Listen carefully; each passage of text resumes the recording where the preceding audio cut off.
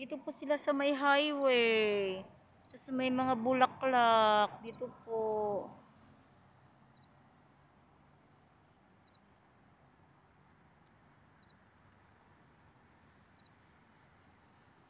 Inapakan niya yung isang pagkain eh.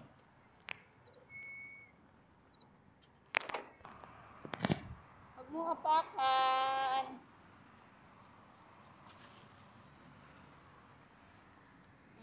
Mm. Mm. Mm, mm. Ano, ang daming food, oh. Inapakan mo eh. Hali na.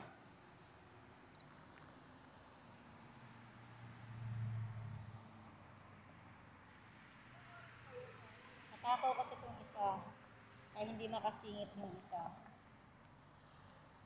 Pero hindi naman sila nag-aaway.